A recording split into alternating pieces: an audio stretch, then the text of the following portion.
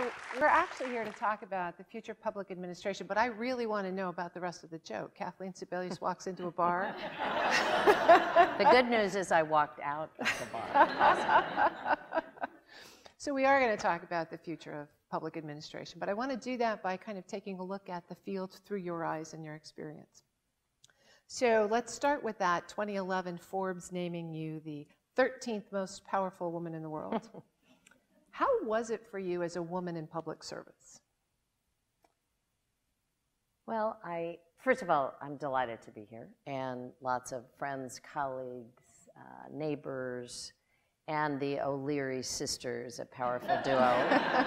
um, Sebelius is my cover name. I'm Kathleen Mary Gilligan, so I'm part of the tribe, and I'm glad to be here. Uh, and Reggie, you're happy to be an honorary O'Leary, I'm sure. Um, you know, I, I never know how to answer that question, frankly, Terry, um, because you know, when people would ask me, what's it like to run as a woman candidate or how is it to be in public? I mean, I am a woman, so I don't know what the alternative is. Um, I would say that one of the things, I'll give you uh, an interesting perspective from Penny Pritzker, who mm-hmm. was um, President Obama's Commerce Secretary in the second term, who mm-hmm. came out of um, the Pritzker family, uh, is in charge of the Hyatt Hotel uh, group around the world, and Penny is the only one of her family who really was in the hotel business. So she was a woman um, in this broad-based Pritzker business. When she came to government, which she had never uh, participated in actively except as a donor or as a voter, she said one of the secrets about government that came as a total surprise to her was how many women are in powerful positions throughout government. She said, I've never been in rooms before. Uh, you would never find this in the private sector where a table of policymakers is about half and half women and men. She said it's, it's kind of one of the unknown secrets about government, but she found it to be quite dazzling and impressive. So at least her perspective mm-hmm. was government is one of the places, and public administrators are one of the places where uh, women have had a, a very important seat at the table for a long time and run a whole lot of stuff. So there's an incredible number of women running for elected office yeah. um, coming up in the, in the midterm cycle. Um, what other sorts of opportunities do you see in the future for women? Do you think we're going forward and taking advantage of that representation history, or are things regressing? Oh. Um, well, it's hard to look at, at some of what happens at the national level and not feel like we're regressing.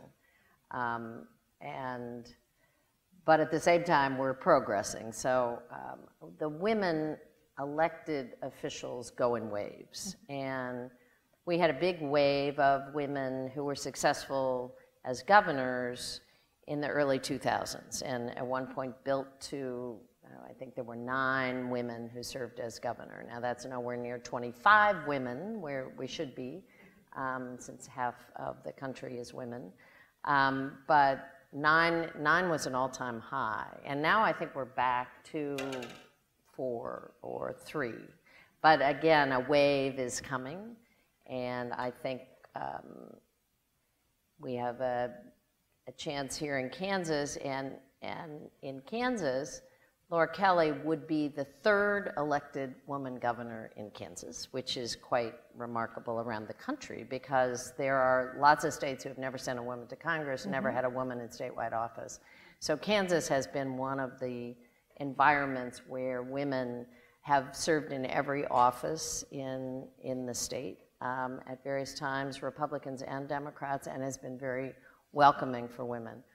Um, I think you see, you know, women serving, uh, still way too few academic leaders are women, way too few medical leaders are women, way too few women are on boards uh, in um, uh, Fortune 500 or Fortune 100 companies. So yeah, there's progress, but not nearly enough. And if you look around the world, we're still way mm-hmm. behind, mm -hmm. way behind. Well, um, there's lots of um, outreach, um, and one of the things we want to talk about next is how do we motivate people towards careers in public service? You grew up in a family with public service, probably around the dinner table, based on your father's terms in city council and as a U.S. congressman, and then as a governor himself.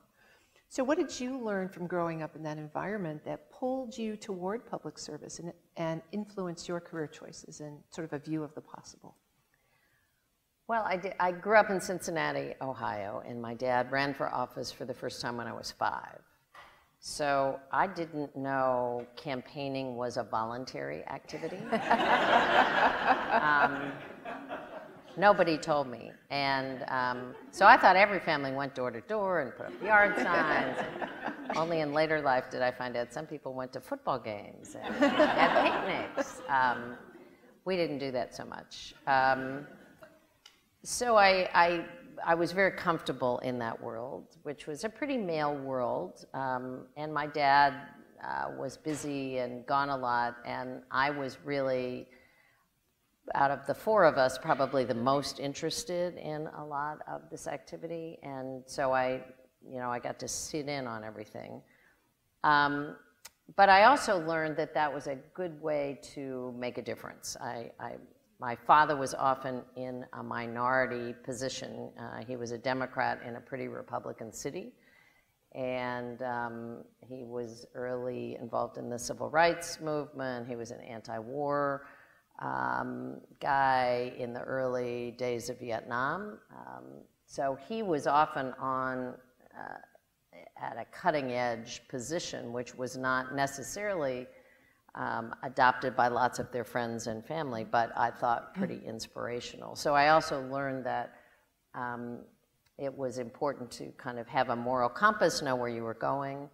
Uh, but I think people like him inspired other folks to get involved in government. And uh, a great example of what government can do that's beneficial. He always um, supported education. He was a former teacher. He um, taught me about, um, he created the first environmental protection agency in Ohio. He was governor at the time that the Cuyahoga River, the big river that runs through Cleveland, was declared a fire hazard. And literally, you could be arrested for walking along the edge of the river with a cigarette because it, it caught on fire on a fairly regular basis. There was so much oil and gas and killed all the fish, but it also killed a lot of people.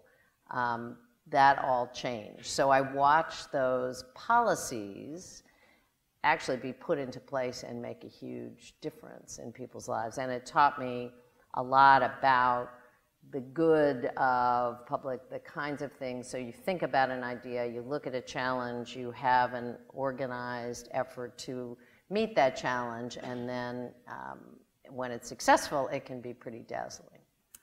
So did you decide to pursue an MPA here at KU for the, a particular purpose about going into public service? No. Um, sort of. I, um, so I married a Kansan, which is how I got to Kansas. And I started my career both first in Washington, where I'd gone to college, and I stayed in Washington to work for a few years. I, I worked in criminal justice. I worked in prison reform in the, a long time ago. Um, and when I came to Kansas, uh, because I married a Kansan who had gone to Georgetown Law School, so he, he was the, the Kansas guy, um, I went to work for the Department of Corrections. And I ended up in a situation where there was a program that KU offered for those of us who were in state government, where the public administration master's was taught in Topeka and it was really geared to those of us in state government.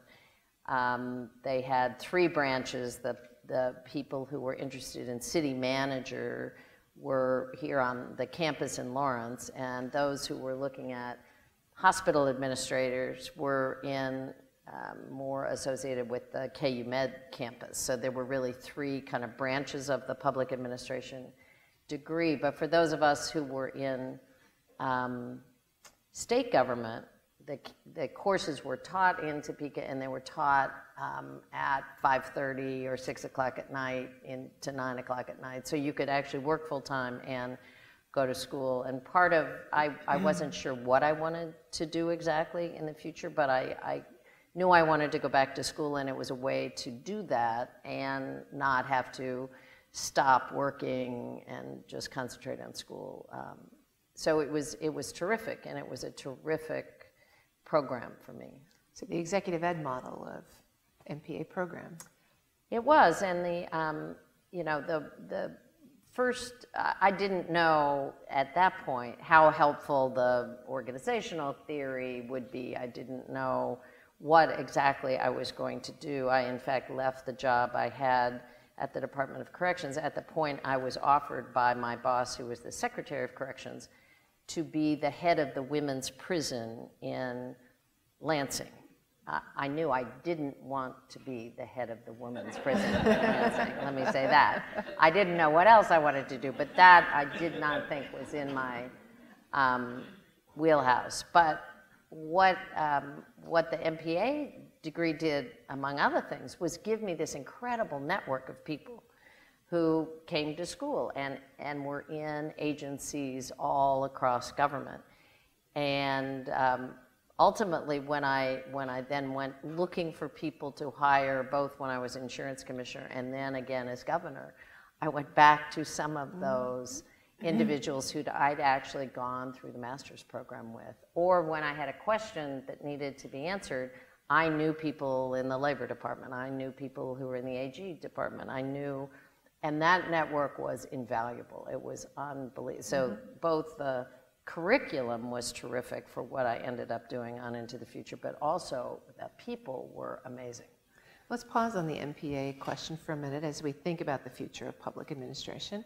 You mentioned that the organizational theory classes and uh, those sorts of management classes were important as well as the network. If you were designing an MPA curriculum today for future public administrators, would you do anything different? What would, what would be the core skills and competencies you'd want to put in that? Well, I think the, the world has changed dramatically, and um, you, you talked earlier about um, what do you do to inspire people to go into public service, and I am one who is just alarmed every day. I, I represented a district in Topeka that had probably more public employees than any district because I was right in the capital and near downtown. I watched this in Washington every day um, where elected officials spend time day in and day out demeaning public service.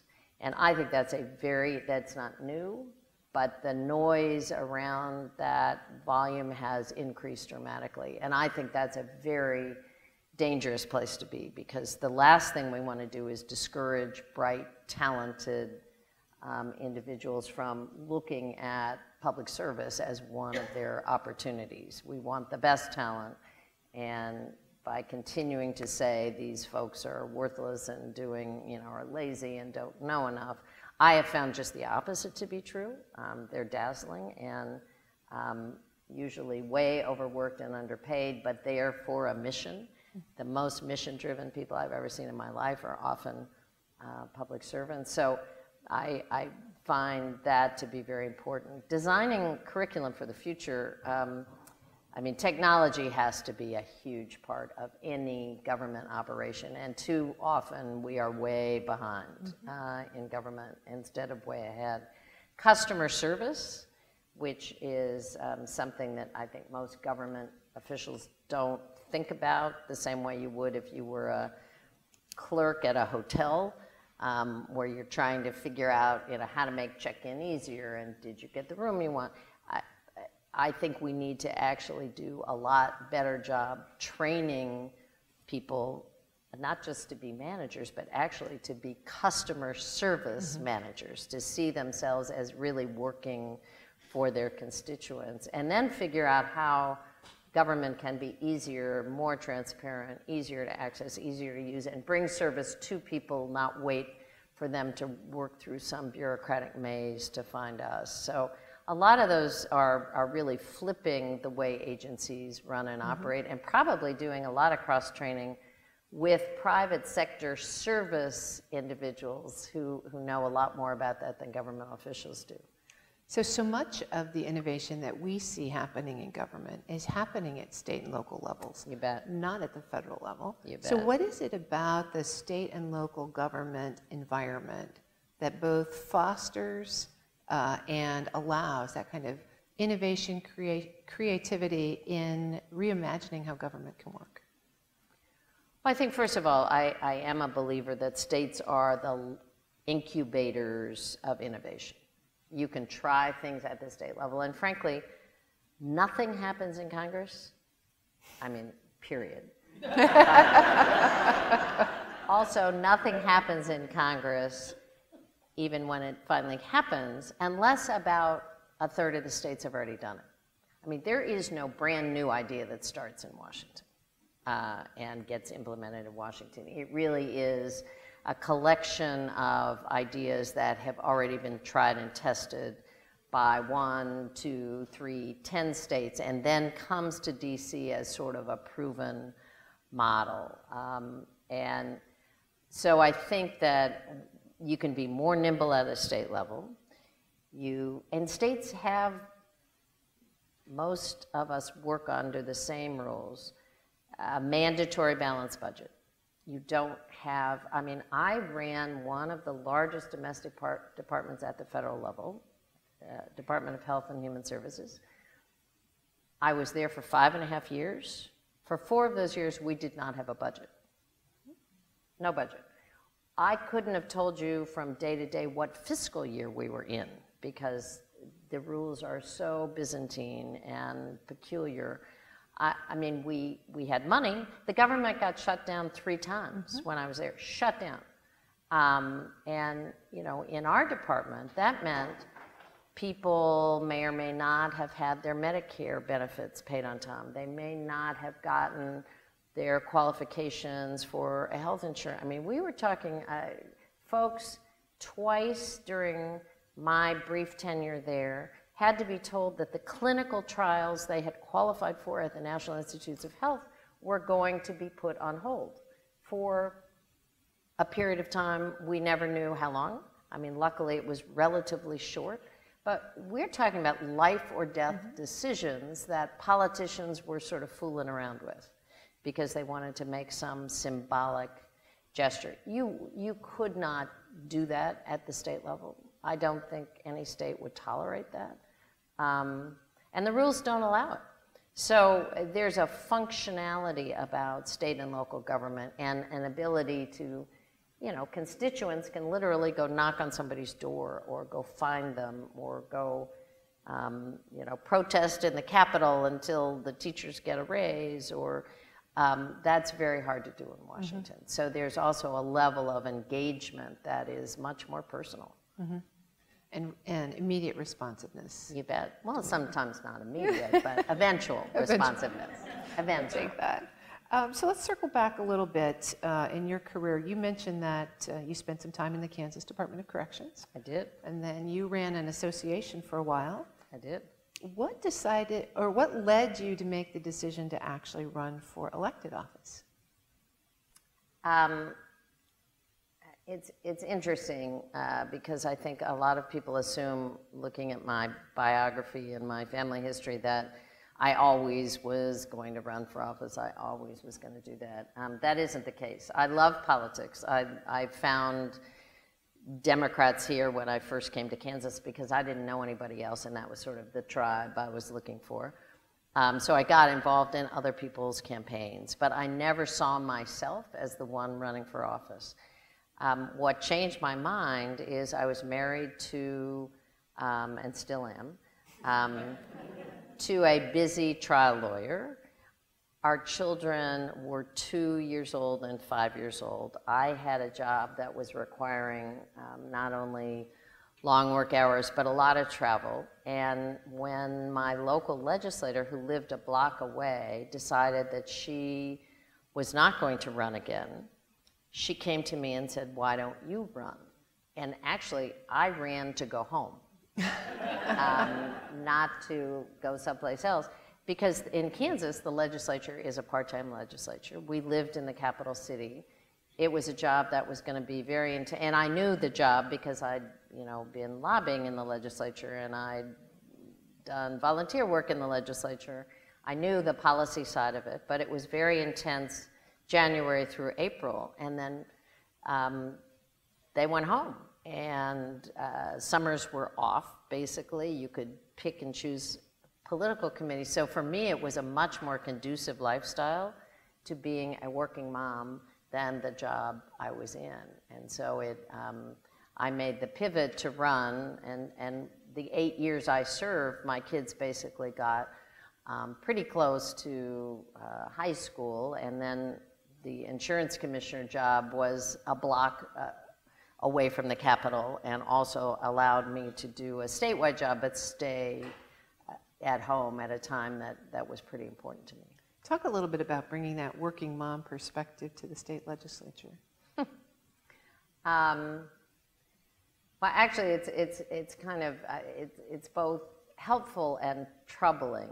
Um, that some of the discussion that I hear in Congress, some of the discussion around the recent Supreme Court hearing, some, you could close your eyes and it could be the early 70s uh, all over again. I mean, it's, it's really sort of shocking that some of those conversations are still going on um, and that, you know, the challenge we are, it, it makes me really unhappy that we're still in America, one of the developed, the only developed country in the world without paid parental leave, that we're the only developed country in the world without um, really some kind of guaranteed early childhood support and help for working parents.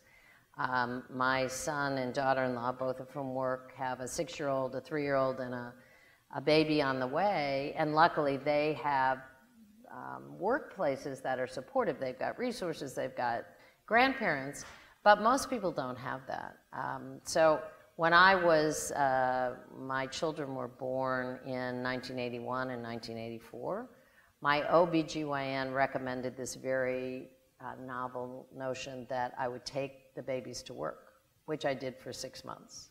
And it worked beautifully. People thought I had lost my mind, but um, it really did work. It was, and so when I became insurance commissioner, we instituted that policy throughout the department. And when I became governor, we allowed other agencies to do that. And mothers or fathers could actually bring their babies with them to a work site that was conducive. I mean, if you worked on the highway and you were putting asphalt down, that was not terribly good. But, you know, in most office situations, it actually worked. So things like that you could do because, mm-hmm. and I knew that you could do it because I had done it. So as an employer and then um, in a you know, public space, because I, I had been a working mom and because I had to juggle that, um, I could figure that out. I also brought bills forward on early childhood education and childcare. Um, I always find it very interesting that childcare is regarded as a woman's issue. I used to say, you know, my husband can't go to work if our children aren't being taken care of either. So, um, but we haven't made a lot of progress yeah. on that, and I, I continue to hope that more women leaders may may help break mm-hmm. through that. Mm-hmm. I don't know how many of you have seen, but the young Australian or New Zealand, New Zealand Prime Minister who's got her baby, I mean, she's making a very clear statement every day that this is something women need to do. They, you know, they balance mm-hmm. childbearing and leadership, and we just need to make more progress in this country, yeah. I think. Yeah. It continues to be a challenge. Um, so you were in the state legislature and you decided to run for the Kansas Insurance Commissioner. Any kind of background in being a Kansas Insurance Commissioner? It was the craziest thing I've ever done in my life. Um, no, I had no background, and I had I had absolutely the most terrifying thing was I had absolutely no idea what went on in the office, um, literally. So the Kansas Insurance Commissioner um, had always been a Republican. No Democrat had ever held that office in the history of the state. Let's start there. And then, um, when I ran, I ran against an incumbent, but um, between the incumbent I ran against and his two predecessors, they had, they had served 50 years in the office. Those three men.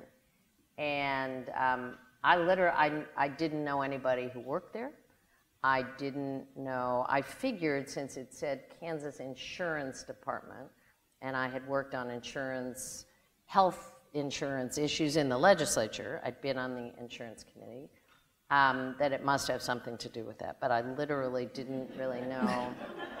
and I kept thinking, so I, I kind of came at this from as an outsider, saying, you know, I'm not going to take any money from anybody who who we regulate. I knew that they regulated companies, and um, at, and frankly, that was a pretty safe bet because I'm running against the incumbent. Anybody would have to be insane if you worked in the insurance business to write a check to me because the incumbent would know about it in a heartbeat. So I figured turning down that money wasn't terribly hard because no one was going to give me any money anyway. um, but I, uh, you know, it was, um, I kept thinking I needed some credentials for the campaign trail, something to be able to say other than I'm interested and you know, I'll learn about it when I get there. Um, so I, I looked around and I decided to take the, the, the test to be an insurance agent because that was at least a, a qualification that I could say I've got the qualifications. And it turns out that the test was a computer test. And I, you know, I looked at the materials and I thought, I can do this. So I studied um, and then went and took the test. And at the, um, at the bottom of the test, now this was not a requirement to hold this office. I just figured it was something I could talk about on the campaign trail. At the bottom of the screen, it said, the results of this test will be sent to you and to the Kansas Insurance Department. and I thought, okay, well, maybe this is going to be the shortest campaign on the face of the earth because I knew that if I had flunked the test, it would not last very long. Um, and I figured it would be a sign from God. And if she was listening, she'd have me pass, and if not, so I hit send, and indeed I passed. Um, and it turned out it was, it was a great experiment in, in public administration because this was a department um, that was literally stuck in the 1950s. Mm-hmm. And um, so, first, I had to learn what people did very quickly. I had to find some people who might have some skills that I could bring with me. I, um, and then we had to figure out ways that we really updated the office. So, the office used to close from 12 to 1, literally close. Wouldn't answer the phones, locked all the doors. And if you think about customer service, if you've had a wreck over the weekend, if you're trying to access your health insurance benefits, if you, you might try to call for some help on your lunch hour not a chance, not a chance that anybody's going to answer the phone. So things like that mm-hmm. we could change fairly quickly. Um, this was 1994, and nobody used a computer. Nobody had a desktop computer. There was one mainframe computer, and one troll who sat on the third floor who programmed the computer. And and literally, when they went on vacation, it just stopped. You stopped answering. It didn't matter if you wanted to know how many life insurance agents there were in Lenexa, Kansas, or what Security Benefit's solvency was. You know, it, it was all on the one mainframe computer. So some things like that were, were relatively easy to update and say to people, we have to actually, we work for them, they don't work for us. Um, and then learn this whole um, how, what a regulatory agency should do, uh, you know, balance um, consumer interests with solvency, how you then got people to do that, how we, I mean, we rewrote every piece of material, we rehired people, we retrained people, and um, it was a great exercise in what you do in an agency to sort of, you know, think about what the mission needed to be, where we were, how you then worked toward that mission, and how you brought people along. And um, it was, it was a great experience. It was the most terrifying four months of my life were when I won. and then thought, what in the world am I going to do? But it worked. So being on the inside of an agency and really having to learn the programs from the bottom up and manage that kind of work, how did that shape your political agenda, your goals for the future? Well, it was interesting. Um, again, it was an office that I, I thought could be a consumer office, and it turned out it was a very important consumer office um, because you can't buy a car, buy a house, access the healthcare system, take care of your family without an insurance product. So everybody needed something, and most people had no idea um, how to navigate the system or what their choices were. So we tried to be the most consumer-facing um, office we could possibly be. And healthcare began to be more and more of focus, um, fighting with insurance companies to get benefits paid. We ran the high risk pool because the laws allowed insurance companies to pick and choose who got insurance and not. And so we ran that. I mean, so I learned those pieces of the puzzle from kind of the ground up. And it turned out that was probably the best expertise that I took to HHS with the passage of a major health law because I knew um, insurance is regulated at the state level. It is not regulated at the federal mm-hmm. level, but nobody at the federal government had done that before. So that became an enormously important um, criteria for you know figuring out what we were doing. But I'd say that you know the notion that you you have to figure out, and uh, again I go back to the public administration framework of what is the challenge, you know what are the the possibilities for solving the challenge, what kind of talent do you need to move in one direction, and then how do you mobilize the assets to do that? All of that, um, I think, was sort of fundamentally part of that framework that I got very early on and just could apply it over and over again, even in areas that I really didn't know what I was doing. And that, that was certainly one of them. It's good to know that, that you had a strong foundation to tackle some of those kinds of really challenging organizational issues. How did that shape your decision to run for governor? Um, well, we had a major fight in the state about Blue Cross Blue Shield and whether or not an outside company was going to take over the Kansas company or not. Um, and it was the decision, the way the law works, was pretty far down the road toward the takeover plan, I, I was, the law gave the insurance commissioner an opportunity to say yes or no, but it was really always seen as a, mm-hmm.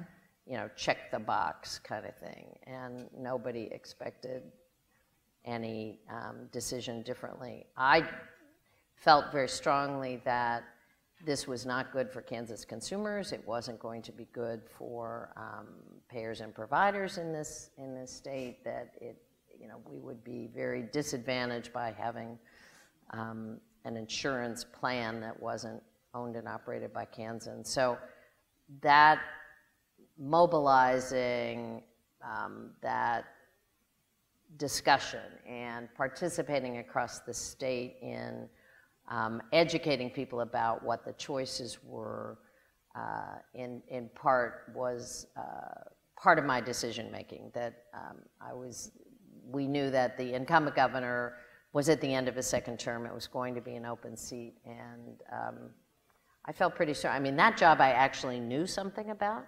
Um, being governor. My dad had been a governor. I'd worked around the office. Um, so that was a lot less mysterious to me, um, what they actually did.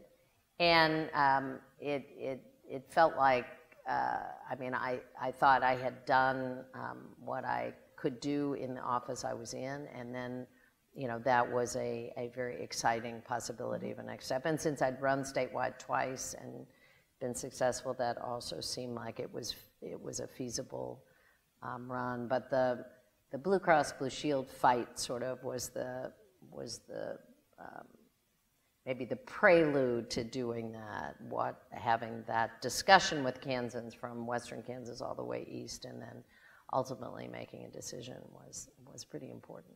And when you were governor, you were really known for your bipartisan relationships.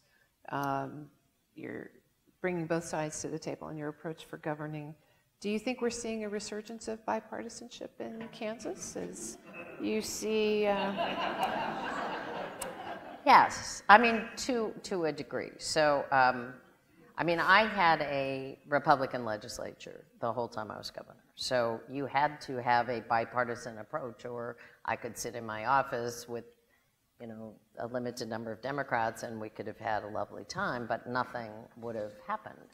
Um, so you had to figure out how to get 63 votes in the House and 21 votes in the Senate and that coalition was a little bit different depending on what the issue was, but it, it basically was, you know, a group of more moderate Republicans and most, if not all, of the Democrats, and that could put together a coalition around school funding or the Bioscience Authority or, you know, a road plan. Um, what we saw then with my um, successor after uh, my lieutenant governor um, had the job for about a year and a half, and then and then the Republican governor was elected. Um, was a real shift, I think, to it was a um, unilateral government where the Republicans had the governor's office and the state senate and the state house. And the governor did um, what I have never seen any elected official do uh, is um, because he was unsuccessful passing what he felt to be a, a very important tax cut for Kansas, he actually recruited um, more conservative candidates, uh, ran and supported them against members of his own party, campaigned uh, for the conservative candidates, beat the members of his own party, and then succeeded to put and implement policies. So you, you saw a real shift in the legislature. The kind of coalition that was there when I was governor was actually kind of blown apart. Um, and in 2016, I would say Kansas voters went back to that more um, moderate uh,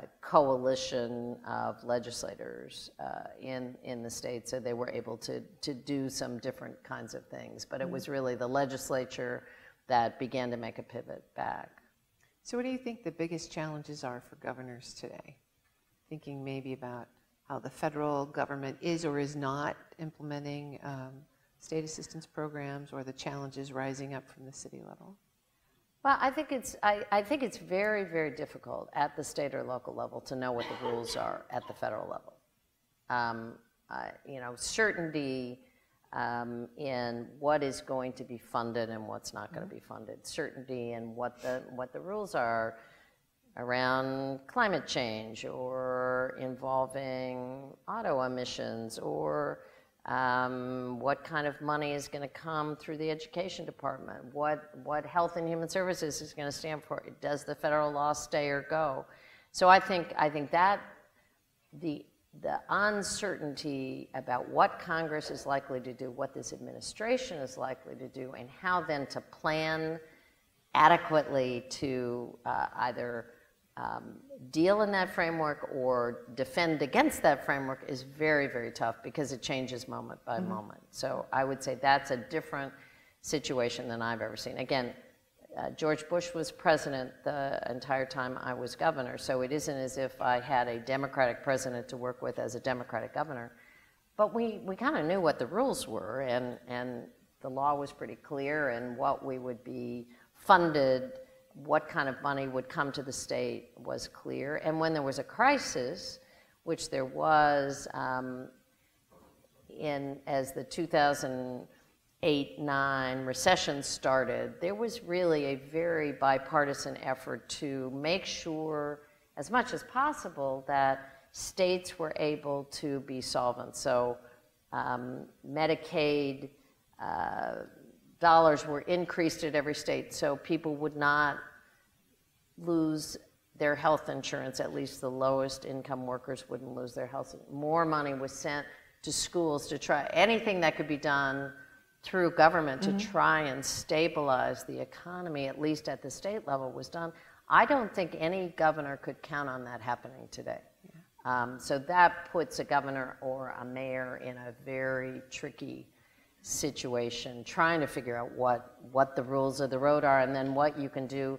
And you watch now governors, so the California governor has been the you know front and center, but New York is doing this. Some other states, whereas the federal government pulls out of an area, the states then say, well, if you're not, you know, if you're not going to be part of the Paris Accord, then we as a, a, a state will actually do, you know, keep the standards uh, for climate change, or we're going to move in a different direction on immigration, or we're going to um, combat your uh, policies in this area.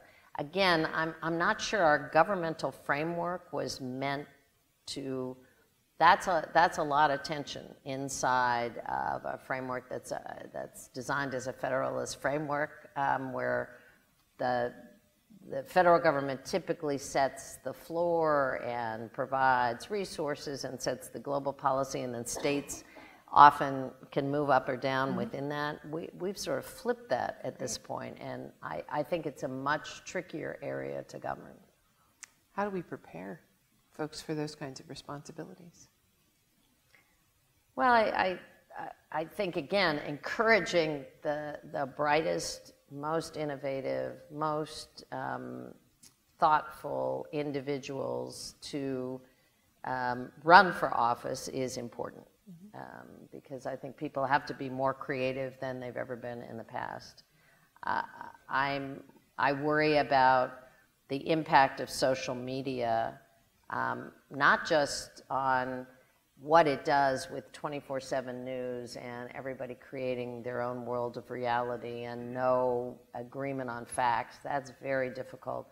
But also on the implications around what it does with our election process. And I don't think we are prepared at the city, the state, the federal level for cybersecurity threats and for voter security threats. I worry a lot in this state about the next three weeks um, about our election process, about voters being disqualified, about you know people actually being able to access the ballot box and make their voices heard and make you know weigh in on this democracy. And I think once those fundamental issues begin to be questioned, if people really aren't certain that there's a legitimacy around their elected officials or the election process, or they feel that they've been so gerrymandered out of having a voice and a vote, that's, that's when there becomes, I think, a shaky basis for the whole democracy. And, and we're not there. I think we have a resilient constitution. We have some brilliant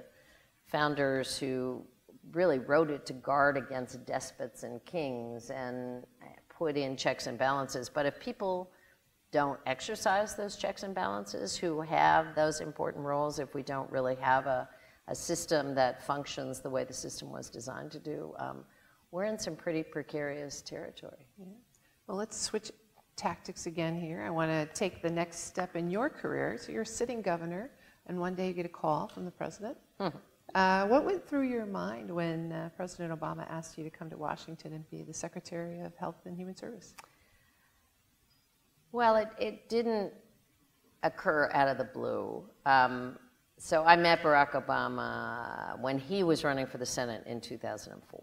And um, I had friends in Chicago who said, you need to see this guy. I mean, there's something going on here. And he was in this really crazy race. I think there were seven Democrats. There were three self-funding multimillionaires. There were two sitting statewide office holders. There were just all kinds of people who, and you know, he was, as he likes to describe himself, a, a skinny black legislator whose name was Barack Hussein Obama and who had giant ears. And you know, nobody thought he would be doing much of anything. But there was something clearly happening. He was traveling around the state in these townhome. Anyway, I met him we quickly established a Kansas connection. Uh, his mother and his grandmother are Kansans. And um, he said to me early on, if um, I really don't like our governor very much. He was right, he went to prison later, but, um, you know. Um, so why don't you be my governor? Because I, I sort of have these Kansas ties. And I said, well, I don't really like our senators very much, so maybe when you get elected, you can be my senator. so we had, we adopted each other. And um, so I knew him from that point on when he was talking about running. Um, he basically called and said, if I run, will you help me? Um, and I said, yes. And my son, I have two boys. The older one is a very policy wonky kid who loved Obama's policies and thought he was brilliant and blah, blah, blah, blah, blah, and, you know, was all in. The younger one said, Mom, he needs old white women. You need to get, and he did. He was running against Hillary Clinton, and he needed old white women to say this is okay in the primary. Um, and John said, you got to get out there. Um, so they were encouraging endorsement. For, and John also said, you know, and anybody who can get Michelle Obama to marry him is got to be really good. he came at it sort of from a different angle. Um, but they were both right. Uh, so I, I was one of the few women office holders who did not mm-hmm. endorse Hillary Clinton but endorsed Barack Obama and um, had campaigned for him um, all over the country and you know was vetted for a variety of things so he actually didn't ask me to do this job initially he um, asked me after the election if I would come and be a cabinet secretary. And the two things I was kind of interested in, and I told him this from the outset, were energy because I thought that was about the future, and health. Those were the two areas. And not that the rest weren't really important, but I did not see that my passion and expertise and whatever were in those areas. And he wanted a nuclear scientist in energy, which was absolutely right, and that clearly was not me. Um, I could spell it, but I could not. um, so, and he asked Tom Daschle to be his HHS secretary. So I mm-hmm. was, I was second choice. Um, and so I told him I didn't want to be considered for a cabinet that I, I um, serve out my term. He needed people on the ground. I could be helpful. And then maybe after 2010, if people, you know, we could, we could talk about it again. So I actually turned him down when, right after the election. Um, and so when Tom Daschle ended up pulling out, um, I had a very amusing phone call with the then president of the United States who said, all right, I'm not offering you this job, but if I offered you, you this job, would you take this job? I said, yes. So we then began a process. He was kind of mad at me at that point. it's a tough way to so start. so um, we have to talk about the Affordable Care Act when we talk about your tenure in health and human services, but I don't want to do it from a political perspective. I want to talk about it from uh, a public administration perspective. So some people will say that the initial failure of the rollout of the registration site was really a failure of the federal human capital system, that we had lost the capacity in our federal civil service to manage a program of that scale and of that complexity. And we had missed out at the federal level on customer service, and that that was also a big part of the failure. Do you think that's the right lesson to take? Is that the lesson that you take? Um, as you might imagine, I still have PTSD from the early days, so I'm probably not the most accurate judge. It actually, I would say, uh, some of those issues we did very well. Um, what was not, what it is a lesson is how badly a technology project was managed. Um, and that, I think, is, is, um, was significant because this was going to be um, easier than, you know, signing up on Kayak for a trip um, to use the website. And that was what uh, kind of was a glitch. And there are all kinds of reasons for that, not the least of which the government is required to, some of this has changed, thank God, but the government's required to use um, already qualified suppliers, which always will put you two generations behind in technology. I mean, what you don't want is somebody who did a good project 20 years ago. You want somebody who can do a good project, you know, next week, next month, who's sitting in a basement in a Batman suit, you know, coding something. Those folks don't tend to be on the federal supplier list. Um, once something's broken, you can bring them in, and we did find them and bring them in, but you can't bring them in at the outset. Um, so that was a problem, and, and we had eight weeks of website hell. What, what I've learned, though, Terry, is as much as people would like to ascribe that that's a government failure, I have not talked to a single CEO who put a big technology project in place that wasn't over budget and off time. Most of them don't do it though with 24/7 cameras running and you know reporting to the president of the United States. They do it and they can beta test things. We could not beta test anything. We could not roll out a website and say, okay, people in Lawrence, Kansas for two months can try the website and enroll in health insurance and get your benefits rolling. And just don't tell anybody else. You know, we're just gonna, but that's the way a product would be done in the private sector. You test it and you see what, none of that could happen. Um, but, you know, having said that, so the website failed on October 1st, which was supposed to be opening day of enrollment was fixed by December 1st. Benefits didn't start until January 1st, so nobody lost benefits. We had a million people enrolled by January 1st, and by the close of the first open enrollment, there were 8 million people who had made it through the website. And, and you know, call centers worked the whole time, navigators on the ground worked the whole time. So in terms of customer service, we actually could do a pretty good job. We just couldn't get people through the website until, until it got fixed. Um, but I think folks who say, well, you know, that's clear, government can't run anything, um, just are, are wrong about this. There are, um, you know, millions of people now. This attempt to sell insurance this way had never been done. And folks say, well, you know, Amazon can sell you a purple sweater and you can be anywhere and you can just go on and qualify. What Amazon doesn't do is sell you a purple sweater that is ordered in your size, that has with it how many children you have in your family, and you're paying a different price in Kansas than you are in Montana, and you're buying it from a different company. Um, and the fact that that all had to be figured out um, along the way. Uh, made it a much more complicated process. But insurance will never be sold the same way again. Mm-hmm. I mean, it sort of blew apart the, the old model, and people finally can see what they're buying. They can compare prices. They can qualify for benefits, uh, you know, seamlessly. They can go online. So I'll take 20 million people with health insurance versus a lousy eight weeks of website anytime. You know, I think it's a pretty good trade.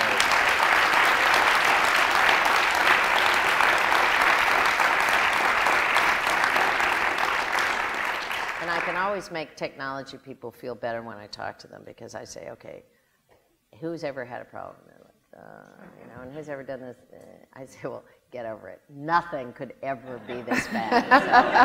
So whatever you've been through, it's nothing. Well, so you've had, as we sort of laid it out here, a really broad and interesting career. You've been a policymaker and a policy implementer. You've been a career civil servant, an elected official, an appointed official. When you think about all of those different roles that you've played in government, would you say that one is more influential or more important than the other? Um, how would you compare them? And what would you tell people who are thinking about a career in public service today about where to start? I'd say, uh, let me start at the end of that, because I, I think anybody who's thinking about a career in public service, I would say go for it. Um, it is, uh, and it really doesn't matter where you start.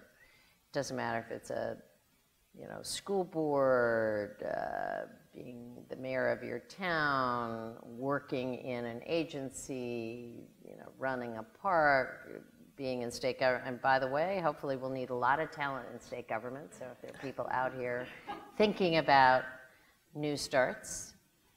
Um, but I, I do think it is a way, it, it is um, an enormous opportunity for somebody to make a difference in, in the community in which they live, uh, on issues that they care about, you know, influence their future, their kids' future. So I, I'm a big uh, fan of the public sector side of the house. Um, not that you can't, you know, do great things in the private sector, but I think too often they're overlooked.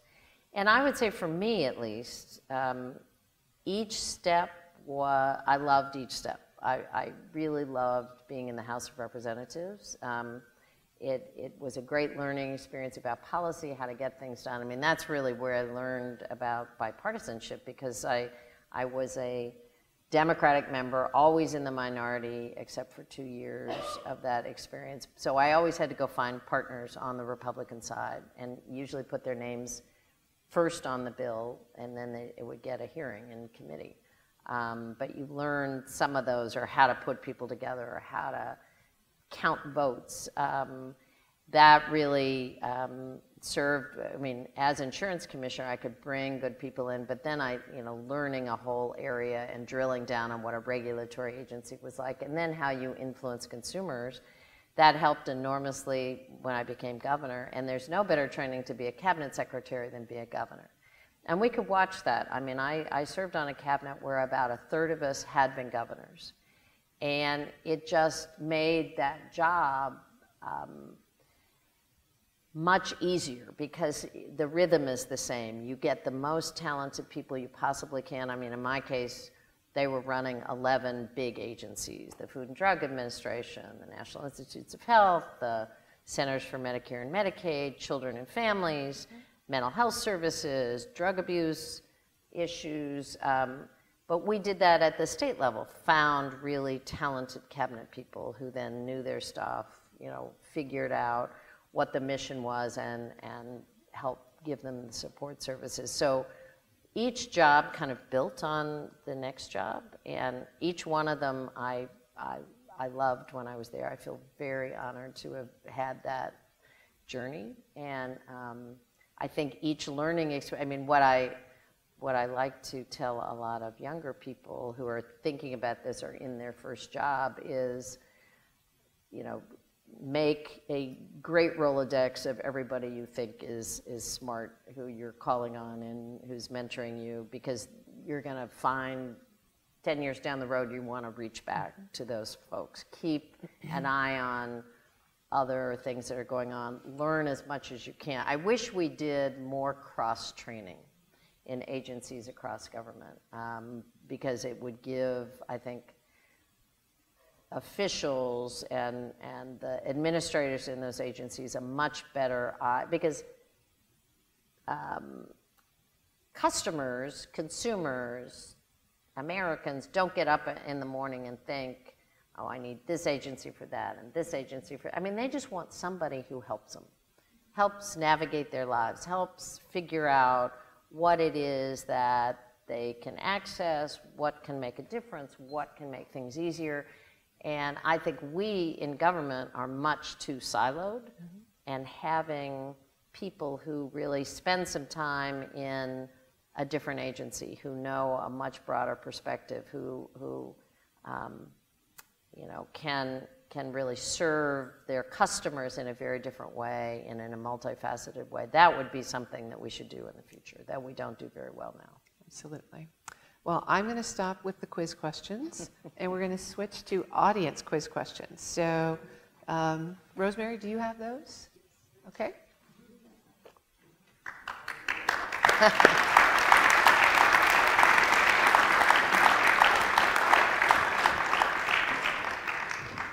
I already have one from the audience. What can be done to restore a fact based political dialogue so policymakers are held accountable again and the concept of public service regains the credibility and value it deserves? Um, it's a great question, and um, I, don't think it happens uh, until the majority of people insist that it happens. And I'm a big believer in citizen power uh, in this field. And I know we are, you know, getting more and more tribal, but um, science is science.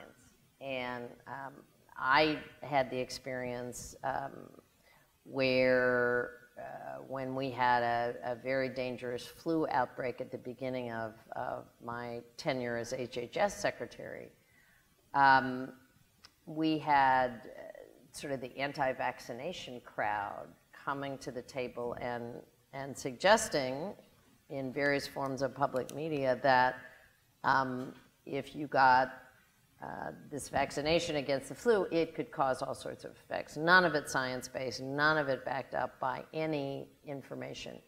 And, and it really took calling on the press saying, you are, you are actually putting people at risk. You are potentially killing people by allowing Jenny McCarthy and Dr. Anne Schuchat to be side by side as if it's a point counterpoint because Dr. Anne Schuchat is an epidemiologist from CDC and is going to be based entirely in science, entirely in fact. And Jenny McCarthy has no scientific fact behind what she's saying, but presenting this as a let's make a choice is very dangerous. So I, I, I really do believe when that happens, I mean, we, we just have to call people out and, and we as citizens have to insist that it really isn't um, either or. Uh, Daniel Patrick Moynihan, the former senator from the state of New York, used to say, you know, you're entitled to your own opinion, but not your own facts. And I, we really have to, um, and it can't just be in a political debate. It's got to be citizens saying, no, I mean, that's just not wrong. I mean, it's, it's absolutely wrong. You cannot print that. Calling on the news media to call it out is wrong announcing it is wrong and, and going back to a fact-based, historic-based uh, system. Because until we do that, then anything goes, um, which is a dangerous place to be, really dangerous. Thank you. Um, who are your influences and why? Wow. Um, you know, growing up, I, I would say that uh, one of, certainly my parents, uh, some teachers, but I, I had the experience of going to an all-girls school. And it turns out that was an important building block for me at that time because in my life, from a very young age, girls did everything. You could be the president of the class, you were the, you know, treasure of the class, you were the athletes and the ballerinas, we had the smartest in the class and the dumbest in the class. Um, I mean, it never occurred to me that girls could do some things and boys had to do the other things. And that, that was a very fundamental um, lesson. So the nuns turned out to be great accidental feminists. Um, and, you know, they were pretty ferocious about it too. Um, so they were great influencers. I've had really good mentors. I had a, a wonderful um, uh, woman who taught me to write grants early on. I had in the criminal justice system. I had, um, I mean, I had a guy who was the Secretary of Corrections, who I would say in no way, shape, or form was either a feminist or anybody who came from a background that I knew anything about. Um, but he knew it was wrong that we didn't have. I was the only woman who wasn't a, a secretary in the office who was in the central office in the Department of Corrections. Um, and there were a lot of guys there who really did not want me there and thought this was a terrible thing. Who literally, I was in an office for three years. Five of the main policy people in the office never spoke to me. Never spoke to me. Um, I would say to them every morning, Good morning, how are you? The best revenge is um, payback. Um, one of them applied for a job later for me, and I, no, I can't hear you. I don't, don't know what you're saying.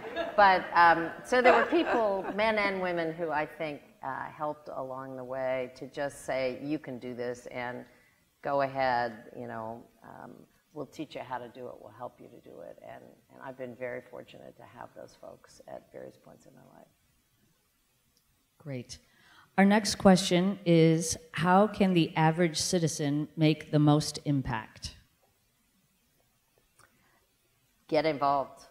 Um, I mean, I know it's very trite to say, but certainly voting, um, because somebody's going to make those decisions, and not voting, I think, is is really giving up on on. It's just giving over a whole set of decisions to somebody else, and you may not like what they do.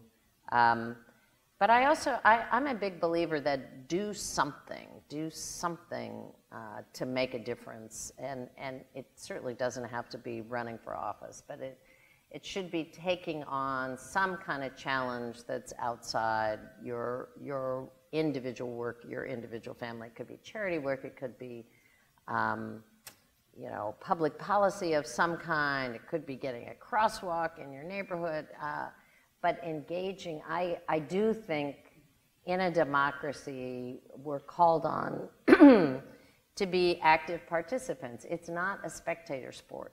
Um, it's supposed to be active engagement. So I, I am a big believer that everybody needs to pick something, um, you know, it, it may be your kid's school project, but some place where you can actually help move the needle forward, help make some progress. Um, and I think if all of us did that uh, in individual ways, it, it just makes a huge difference. Um, and certainly anything we can do with the younger generation and the younger generation than that and the very youngest generation um, to uh, help them be as open, inclusive, curious, engaged as possible, I think we will have a lot better future. We have two more. Is there an increased problem that people are going into government for the wrong reasons? For example, for their own gain in the future or not the public interest? You know, I, I would say uh, there are two levels of that. There certainly are people running for office now, but I'm not sure more than in the past, who, um, you know, my dad always used to say, and I know this is said lots of different ways, but he always used to say, there are people who run for office to be somebody, and there are people who run for office to do something. And that's, I think, been the case for a long time. The people who run for office to be somebody can be pretty dangerous. And, um, but they've been around for a long time. And, uh, you know, there have been public servants, public servants um, for years who uh, are economic miracles. You know, their salary level is $45,000, $50,000 a year, and they end up as multimillionaires. Um, who knew? But um, so, I mean, there always have been people who find ways, unfortunately, to use government and influence as a way to enrich themselves or their families or make deals. I'm not sure that has changed dramatically, although I have never seen a group quite like the group in DC, and you can watch it very transparently, where there doesn't seem to be any set of rules that applies, any set of ethical considerations. On the other hand, I, I don't think that, I mean, what I find to be curious is that same mixed group are the ones who are loudest and most derogatory toward the working uh, public servants, who I have always found, um, uh, not that they're universally brilliant and uh, necessarily all share the same views, but by and large are people who really are doing the jobs that they do at under market value uh, because they they believe in in whatever it is that they're doing and they have a certain goal and a mission. And um, I mean the people I've had the privilege to work with in um, the state government uh, in the federal government uh, were extraordinary and so I, I think that the elected politicians are, are a much more mixed bag often than the um, civil servants who often are, I think, um, as a group, a much more um, inspirational group of, of workers and folks. And, and thank God they're there because they keep, they keep progress moving. Thank you. Our last question, and we have to ask uh, Would you consider running for office again? Oh, God, no. and there's a please on the card. So. Here's the deal I, I really do believe that um, uh, I've had a great run. I, you know, eight times on the ballot is enough. Um, five and a half years in, in a high level cabinet position was plenty. Um, and I'm delighted to help people, to recruit people, to mentor people, to you know, raise money for folks, campaign for them. But I want the next generation. We should never, in my humble opinion, we should never have a 70 year old again as president of the United States. Ever, ever, ever. Either party. Half the world is under 25. Um, I, I think America needs younger leaders across the board, Republicans and Democrats. I, I am troubled by people who um, can't take a graceful bow and move aside and, and encourage the pipeline. So I, no, I, I won't be running, but I'll be, um, you know, helping a lot of other people run and be in office and applauding them and helping in any way I can. But not me. Well, so let me just wrap up then with one last question. What are you most optimistic about in the field of public service? Well, I am optimistic that um, I think we have a generation of um, public minded younger people who see themselves as global citizens and are eager to figure out ways that they can be involved and engaged. And um, I'm hoping, and you see them running for office. Um, we saw them coming into offices, into situations, and I think that's very encouraging about the future. Um, when you know folks want to know what it is that they'll be doing uh, and what kind of difference it makes. And the third thing they want to talk about then is how much money they make, as opposed to the flip side. Uh, that I find to be a very encouraging trend. Um, and I, I think that we're seeing this very diverse and um, community-minded, public service-minded uh, group of folks who, who are saying, you know, if you're not figuring out things that are going to make a positive difference in the future, then get out of the way because we'll help to figure that out. And I think that's exactly the right message, and, and I'm very enthusiastic about it. So I hope the KU School of Public Administration is full of those folks who are ready to roll. Wow. Governor, I want to thank you for your time.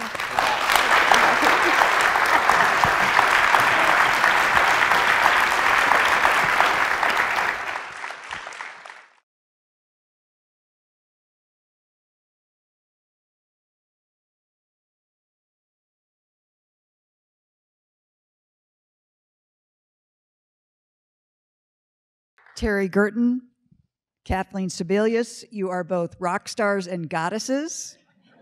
We are so thrilled and honored that you have been here this evening with us. Thank you so much. We've learned so much from you and we're so inspired by you. We have small gifts for you from the School of Public Affairs and Administration. You get a spa pen and a 70th anniversary sticky Jayhawk for your lapels.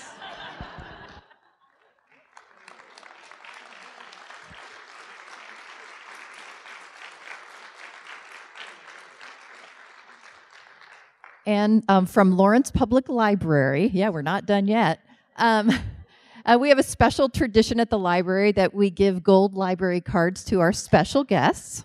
So there is Terry's, just to kind of get you uh, for what that looks like. And actually, Kathleen, Yours actually works. There's a barcode on the back. We have set up an account for you so you can come to the library and check out all sorts of stuff. And there's instructions inside, and um, but we will not pay your fines. So I, we draw the line there. But thank you so much. We appreciate it. Right.